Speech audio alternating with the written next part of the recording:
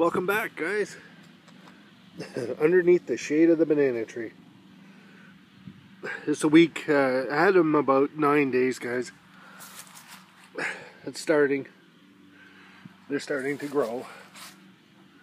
Oh, a little coffee grounds there. I put some coffee grounds in there. Extra food for this plant. Uh, we had quite a bit of rain last little while, so I imagine this is probably very good for the banana since it's a tropical plant. And uh, but it's very cold today. It's uh, for these banana plants. Right now it's about 16 degrees Celsius. But they are looking better. They are getting bigger. There goes my cat. Well, one of them. That's Moonbeam. So I just wanted to give you a quick one week, or uh, actually it's more like 10 days. This is what they look like after 10 days. All right, I'll talk to you soon. Rob out.